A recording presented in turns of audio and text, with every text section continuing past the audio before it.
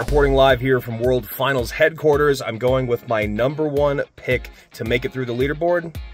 Mr. Consistency himself, I gotta go Morten. I mean, why wouldn't it be him? He is the guy that will make it to Worlds through the leaderboard. I think the most likely person to actually be able to win a golden ticket is Lucas X Gamer. He hasn't got one yet. He's right up there skill level wise with Mohamed Light and Mugi. My pick for the golden ticket winner is gonna be Air Surfer. He does all the little things so, so well and has so much competitive experience.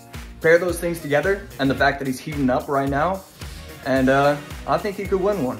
My favorite pick to go through on points is obvious. The points leader, Adriel. He's so consistent in Swiss, always picking up good points, and he'll probably have at least one more bracket run in him, enough to secure that top seven spot in a trip to World Finals.